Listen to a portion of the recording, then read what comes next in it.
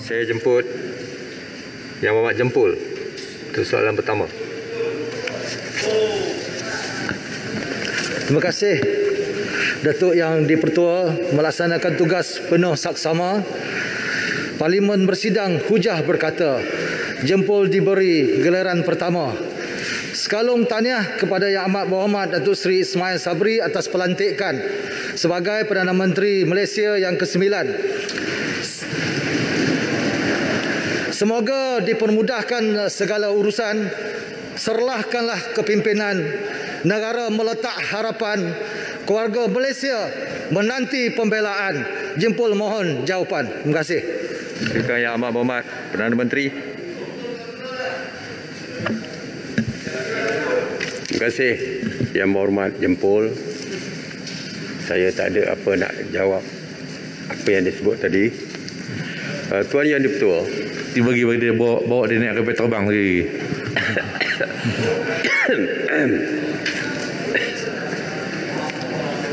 Tuan Yang Dipertua Kerajaan telah mempertimbangkan pembukaan sektor tertentu sebagai salah satu cara untuk memulihkan kembali ekonomi negara. Kita semua sedia maklum tentang kesusahan rakyat akibat daripada penutupan sektor-sektor ekonomi. Pembukaan semula 11 sektor ekonomi di negeri-negeri fasa 1 Pelan Pemulihan Negara wajar berikutan dengan keputusan penerima vaksinasi yang tinggi ketika itu. Malah keputusan ini dibuat dengan mengambil kira data penerimaan penilaian risiko yang dijalankan oleh Kementerian Kesihatan Malaysia dan juga Kementerian Perdagangan Dalam Negeri dan Hal Ehwal Pengguna mengenai ekonomi. Untuk makluman, ketika ini, sehingga bulan September ini, 74.7% rakyat dewasa telah menerima dua dos vaksin manakala untuk satu dos vaksin sebanyak 91.6% rakyat telah pun menerimanya. Selain daripada itu, sektor-sektor ini dibuka dengan SOP yang ketat termasuk hanya membenarkan pelanggan yang telah divaksin lengkap sahaja untuk masuk membuat urus niaga dan mendapatkan perkhidmatan. Manakala pekerja-pekerja di premis-premis yang berkaitan juga mesti telah pun lengkap dengan dua dos vaksin. Langkah mengurung rakyat tidak lagi dilihat sebagai sesuai malah dikuatiri mendatangkan lebih banyak implikasi termasuk kesihatan mental. Sekaligus kita perlu memberi keutamaan dengan membuka sektor ekonomi. Pembukaan ekonomi bukan saja dapat membantu mempercepatkan pemulihan ekonomi, malah memberikan peluang dan ruang untuk rakyat memperbaiki hidup. Terima kasih Yang Berhormat dan Menteri. Sila jempol soalan tambahan yang pertama 30 saat. Terima kasih saya ucapkan atas uh, jawapan yang diberi. Uh, menerusi siapan Twitter milik Ketua Pengarah Kesihatan, uh, Tan Sri Dr. Nur Hisham Abdullah telah memberi peringatan kepada orang ramai bahawa banyak tempat dibenarkan untuk dibuka adalah disebabkan faktor ekonomi bukan faktor keselamatan. Seperti mana yang kita sedia maklum, vaksin berfungsi untuk melindungi penerima penerimanya daripada mengalami gejala serius. Namun pen- penerima vaksin masih berisiko menjadi pembawa virus. Uh, Soalan saya, apakah keputusan tersebut telah mengambil kira risiko yang ditanggung oleh individu yang tidak divaksin iaitu uh, mereka yang berumur pelajar yang berumur 17 tahun ke bawah dan adakah terdapat sebarang pendekatan baru yang akan dilaksanakan oleh kerajaan bagi uh, melandaikan kes jangkitan harian baru agar keselamatan individu tidak divaksin uh, dapat dijamin. Terima kasih. Sila Yang Berhormat Perdana Menteri satu minit. Terima kasih Yang Berhormat. Uh, seperti saya sebutkan tadi bahawa penilaian risiko telah pun dilakukan oleh KKM yang yang melihat dari segi kesihatan malah kementerian-kementerian yang berkaitan ekonomi yang berkaitan dengan ekonomi. Jadi kita telah pun membuat pertimbangan dan membuat perimbangan. Lagipun apabila kita buka, saya dah sebut tadi bahawa SOP yang ketat perlu dilaksanakan. Kita tahu seperti kata Yang Muhammad tadi, walaupun sudah mendapat dua vaksin, masih boleh dijangkiti dan masih boleh menjangkiti. Dan kawalan kendirilah yang paling penting. Rakyat mesti berdisiplin untuk membuat kawalan kendiri dari segi menjaga SOP. Baru ni kita buka. Hari pertama, kita lihat di tempat percutian penuh. Tidak ada memakai mask pun dan pakai topeng pun. Hmm. Maknanya masa depan negara kita ini dari segi COVID ini bergantung kepada kita sendiri. Kita tidak boleh mengharapkan vaksin semata-mata tetapi kawalan kendiri itu sangat penting. Kalau tidak, ianya akan menjadi sia-sia saja.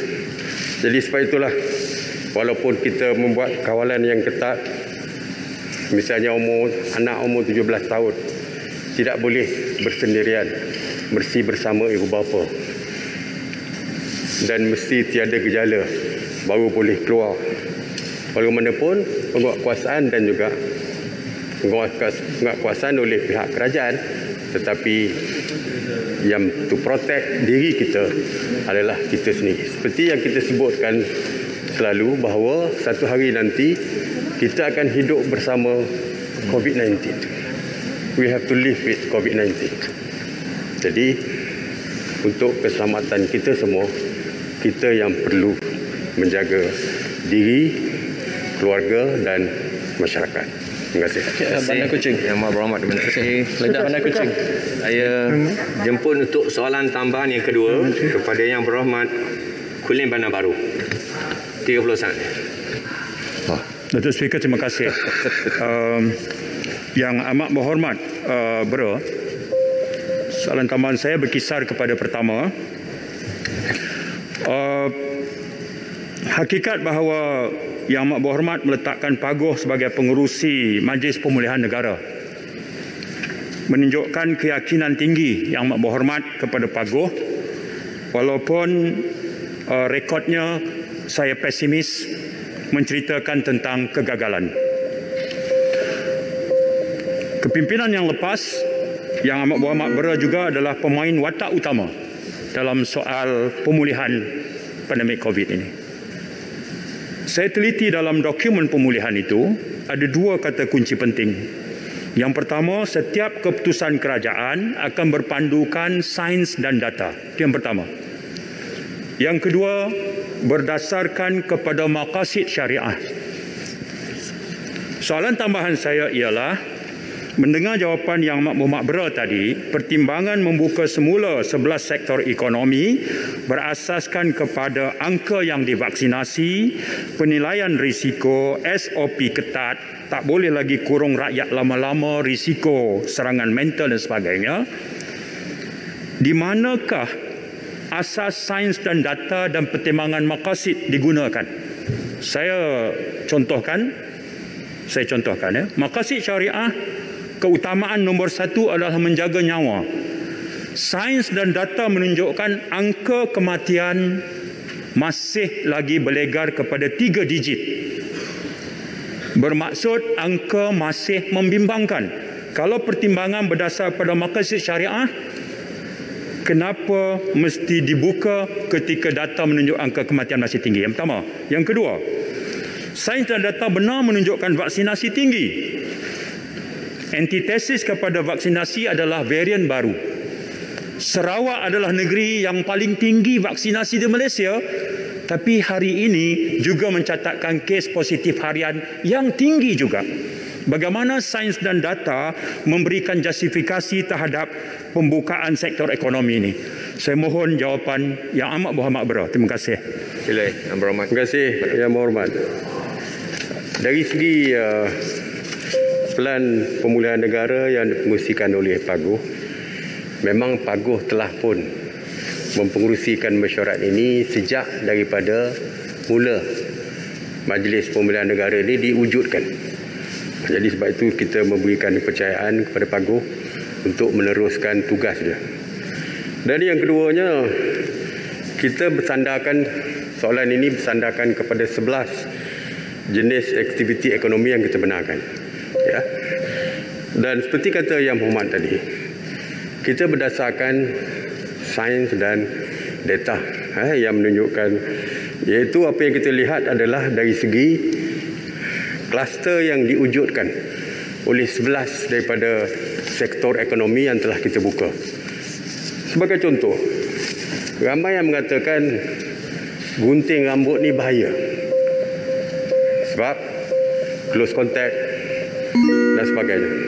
Tetapi sepanjang tahun 2020 hanya satu yang melibatkan kes kluster kes yang melibatkan gunting rambut. Begitu juga dengan beauty salon. Ramai yang mengatakan ini bahaya. Tetapi tidak ada kes yang melibatkan hanya satu kes atau dua kes yang melibatkan di beauty salon. Begitu juga dengan kedai cuci kereta. Ramai kata ini kedai cuci kereta ni pekerjanya Bangladesh dan sebagainya. Jadi tentu jangkitan lebih mudah. Tetapi sepanjang tahun 2020 tidak ada satu pun yang melibatkan kedai cuci kereta. Jadi data-data seperti inilah yang menyebabkan kita fokus kepada aktif sektor-sektor tertentu untuk kita buka walaupun di tempat lain masih lagi ada kluster-kluster lain.